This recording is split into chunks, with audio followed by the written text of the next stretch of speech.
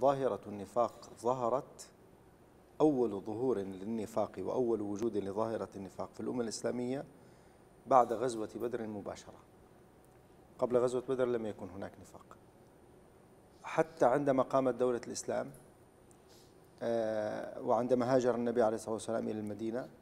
انقسم الناس إلى ثلاثة أقسام مسلمين مهاجرين وأنصار يهود ومشركين هؤلاء المشركين عبد الله بن أبي بن سلول وكان ما زال مشركا صحيح بقي مشركا بقي, بقي مشركا إلى بعد بدر إلى ما بعد بدر لأنه حتى تلك الفترة كان المسلمون لم يت يعني ليس ظاهرا حقيقة التمكن لذلك غزوة بدر كانت فرقانا غزوة فرقان بين الحق والباطل وإظهار كل الحقائق خلاص الآن بعد أن بعد أن حدثت غزوة بدر شعر هؤلاء المشرك هؤلاء المشركين بقيادة عبد الله بن أبي بن سلول بأن هذا الكيان أصبح كيانا يفرض نفسه بالقوة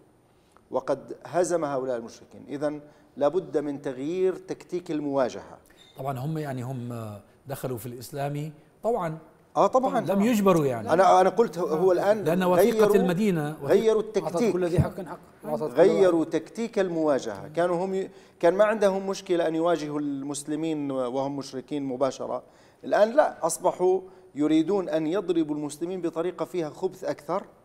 وفيها دهاء اكثر وفيها مكر اكثر فدخلوا الى الاسلام ودائما محاوله ضرب الاسلام من داخله اخطر بكثير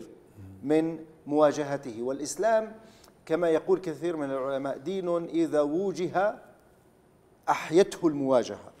المسلمين إذا تمت مواجهتهم تحييهم المواجهة ولكن الإشكال يكون من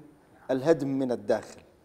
آه، الأمر الثاني في كثير من آيات الحديث عن المنافقين تتحدث عن العلاقة مع غير آه، المسلم العلاقة مع الولاء لل للمشركين كهذه الآية ليش؟ لأن المنافقين أصلا يقومون على فكرة مناصرة الأعداء على المسلمين على الصف الإسلامي وعلى الجسم الإسلامي لذلك نرى أنهم يطعنون المسلمين في ظهرهم في أحرج الساعات وبطريقة أبشع بكثير مما يفعل المشركون مثال ذلك ما جرى في غزوة أحد النبي عليه الصلاة والسلام خرج معه ألف مقاتل كان بينهم منافقون كان بإمكان المنافقين أن لا يخرجوا مع النبي صلى الله عليه وسلم بكل بساطة ولكن عبد الله بن أبي بن سلول ومعه الثلاثمائة اختاروا أحرج الساعات لينسلخوا عن الجيش وهي ساعة التقاء الجيشين ساعة أن تراءى الجيشان واجتمع والتقى, والتقى الصفان قبل اللقاء هذه المرحلة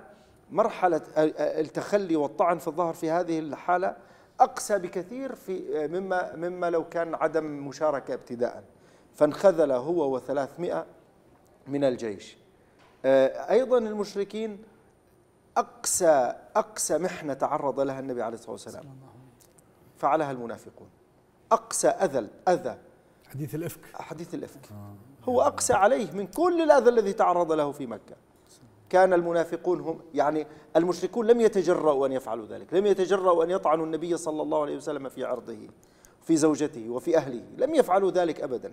فعل ذلك المنافقون فهم أخطر بكثير وأقسى وطأة على المسلمين لذلك الله عز وجل قال وإذا رأيتهم تعجبك أجسامهم وإن يقولوا تسمع لقولهم كأنهم خشب مسندة يحسبون كل صيحة عليهم هم العدو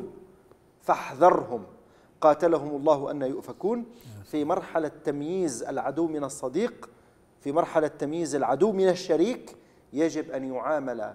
المنافقون على أنهم عدو في خاصرة وفي ظهر الأمة